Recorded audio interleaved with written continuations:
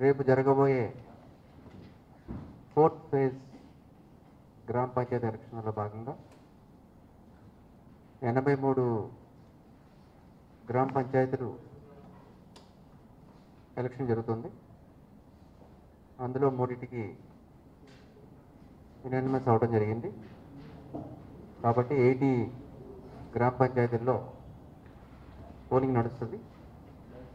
ఈ ఎయిటీ గ్రామ పంచాయతీల్లో తొమ్మిది వందల ఎనిమిది వార్డ్స్ ఉన్నాయి. సో దానిలో తొమ్మిది వందల ఎనభై పోలింగ్ స్టేషన్.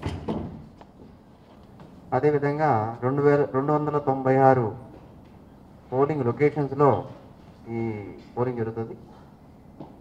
సో ఈ రెండు వందల తొంభై ఆరులో కూడా మనకి ఇరవై తొమ్మిది లొకేషన్స్ హైపర్ సెన్సిటివ్గా గుర్తించడం జరిగింది. నలభై ఐదు సెన్సిటివ్ అన్నట్టు రెండు వందల ఇరవై మూడు ఇరవై రెండు నార్మల్ లొకేషన్స్గా మనం ఏర్పాటు చేసుకున్నాం.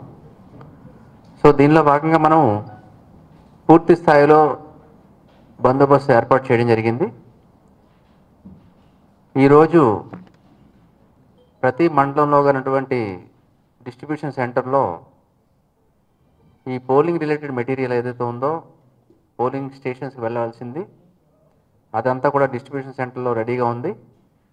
అది వాళ్ళ రూట్ ఆఫీసర్స్ తోటి పోలింగ్ స్టేషన్ ఇన్ఛార్జెస్ తోటి రెడీ చేసుకుని బస్సు ఎక్కించిన ఎక్కించిన వెంటనే మన స్టాటిక్ బందోబస్తు ఏదైతే ఉందో ఆ పోలింగ్ స్టేషన్ సంబంధించింది ఆ రూట్ ఇన్ఛార్జెస్ ఎవరైతే ఉన్నారో తన రూట్ మొబైల్ తోటి తర్వాత స్ట్రైకింగ్ ఫోర్స్ తోటి కోఆర్డినేట్ చేసుకుంటూ ప్రతి పోలింగ్ లొకేషన్లోనూ మెటీరియల్ దింపుకుంటూ ఎస్కాట్ చేసుకుంటూ వెళ్ళటం జరుగుతుంది.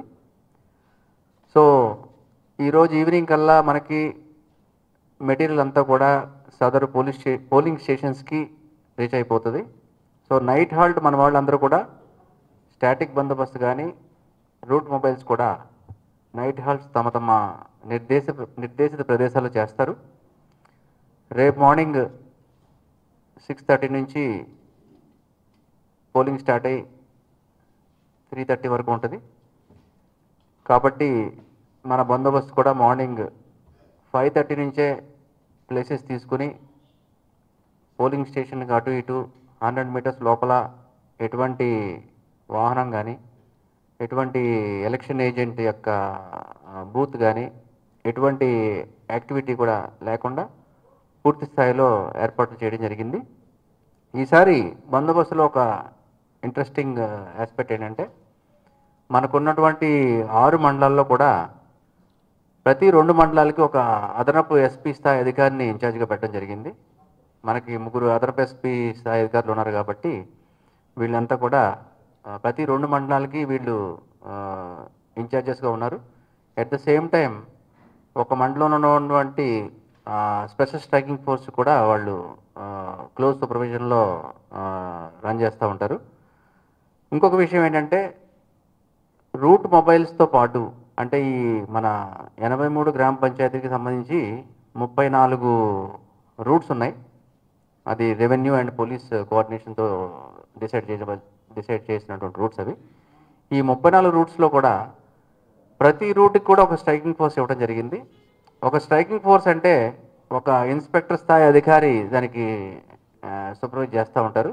ఆయన దగ్గర ఒక one and four riot gear equipment తోటి లాఠీ అండ్ పూర్తి స్థాయి ప్రిపరేషన్ తోటి ఒక ఫోర్స్ ఉంటుంది దానికి ఎక్స్క్లూజివ్ డెడికేటెడ్ ఫోర్స్ ఉంటుంది.